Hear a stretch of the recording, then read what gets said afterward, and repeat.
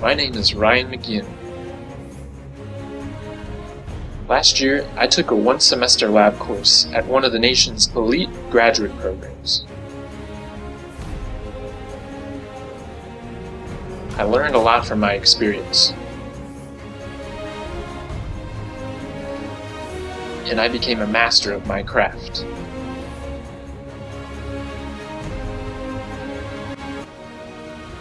Course, I completed UChicago's experimental physics requirement, top marks. Now, I'm using the knowledge that I've acquired to promote the physical sciences and improve experimental physics education. This is Ryan for you.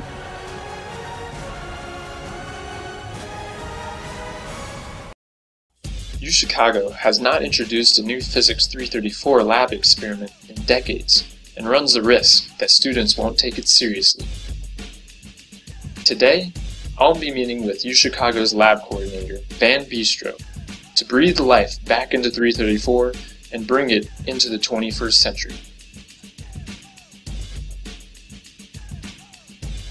I'm going to be proposing a modified Stern-Gerlach experiment. Okay. And this is a great one because students get to investigate the discrete nature of spin. But what makes my experiment unique is that I'm going to have two magnetic fields and two streams of particles. Mhm. So for that, we're going to need to use two Helmholtz coils to create these fields. They're going to be collinear here, but the magnetic fields are going to be pointing in opposite directions so that we can cancel the dipole fringing fields around the edges of the Helmholtz coils. Okay, eventually we're going to need to collect the particles on a screen, which you're going to represent over here with this semicircular object. And when particles interact with the screen, we're going to need to read out that data on some fiber optics of some kind. Okay, then finally, we're going to need a stream of particles to send through the magnetic fields. So we're going to have one stream here, and one stream here. Uh, Hold it, uh, I think this is starting to look more like biology than physics. I haven't finished my diagram yet, Uh, I know, but uh, I think probably we should just move on. Uh, Okay, if you think so. Yeah. As we both know, funding is really important for doing science. But something that our experimental program is not doing is preparing students for funding problems. So what I propose is the MacGyver experiment. In this experiment, students will try to build a physics project out of what they have in their own pockets. Okay? So let's do a MacGyver experiment right now. Could you please empty your pockets? Okay. What do we have? What do we have? Alright, alright, uh, we've got some keys. Got some keys, okay. And an old ass cell phone, okay. A comb, I got a dollar. I can buy something with that. And a roll of tape. Tape? Alright, what can we do with this? Uh, Well, let's see. I've done this for a while.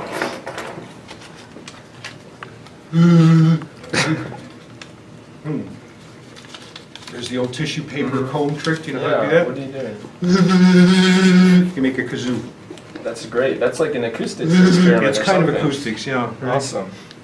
Oh, oh, the most important thing, here's a credit card. We can buy equipment with that. Okay, and I don't think that that was such a great idea. Let's just, you know, put everything back in our pockets, okay? Um, okay.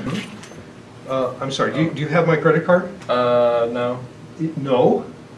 Uh, I thought we paid our TAs well enough that they didn't have to It's a MacGyver, to it's just a. MacGyver experiment, you know, what happens, happens.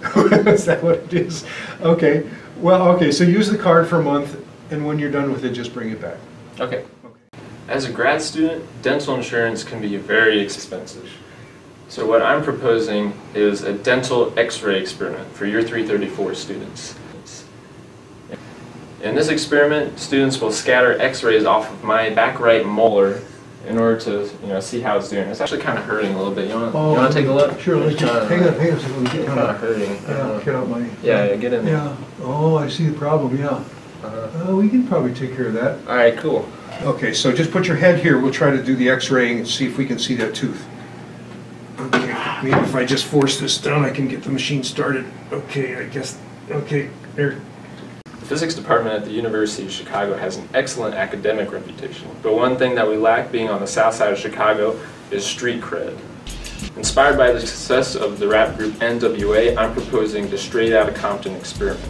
So what's, what's NWA?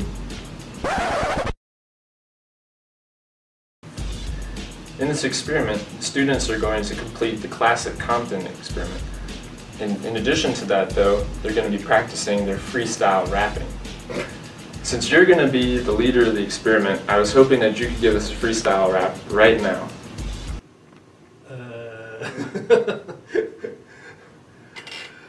Is that okay? Okay. Oh, God, I'm just gonna okay. I'm just gonna come in. I'm just gonna give you a beat, and you just come in whenever you're ready. Okay. All right. Let's get into character. Ready? Ready? Uh, You, uh. All right. We got. Hold on. Hold on. Oh, Hold on. Hold on. okay. We got Big Man Van on the mic. He's about to drop a hot freestyle off top of the dome. Ready? Three, two, one, go. You want me to do rap? You caught me rather hapless. I'd rather take a nap now. Nice. That was sick. Give me some juice, man. Boom.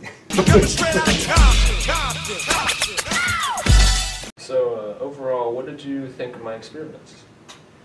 Well, Ryan, we, we appreciate student input, but I have to tell you, oh, with all due respect, every single one of your ideas just completely sucked swamp water. So I don't have time for this.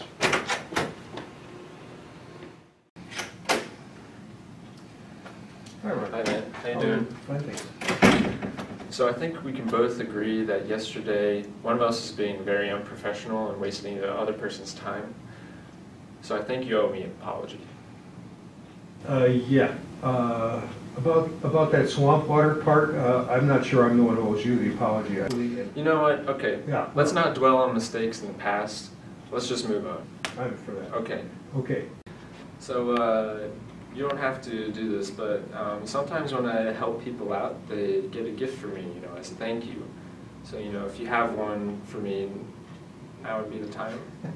Uh, well, a gift for you. Uh, it's it's okay if you don't have one. We actually prepared one in this situation, so I'm gonna go get it, and then um, you know you can give it to me like on camera. Is that okay? That's fine, Okay. Sure.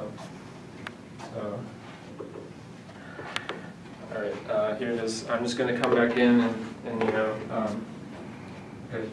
Uh, Oh, hi. Hi Van, how's it going? Uh, fine, thanks. How are you doing? I'm, I'm very well, thank you. How are You you? know, in appreciation for our interviews yesterday, I, I thought maybe it'd be appropriate if I gave you a little gift, so. Oh wow, that's very um, thoughtful of you. Thank you. Sure, Ryan, I hope Wow. you enjoy it. Thanks.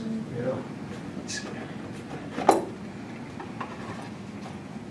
Oh wow, you got me a set of nail clippers. Why did you get? Uh. Well, when you first shook my hands, I noticed there was uh, little sharp Oh, stuff hitting my um, hand, so I thought perhaps it would be. Okay, uh, these are kind of dirty. Did you use these, or Just- are these new? Well, just a little bit. Uh, I mean, I, I wanted to try them out, make sure they worked well before I gave them. Yeah. So um, I, Yeah, all right. Uh, well, thank you for the very thoughtful gift. You're welcome. And you know, I hope that my uh, experiment pitches really will help you out in the future. uh, they, they have a small chance of doing that. All right, thank you.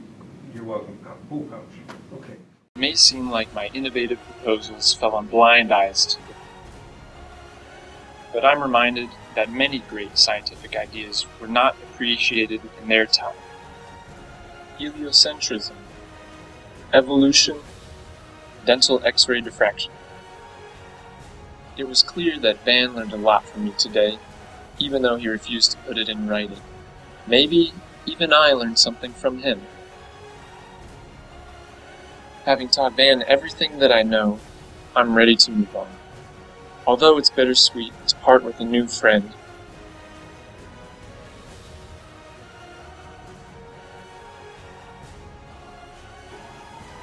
time for me to share my gift, the world.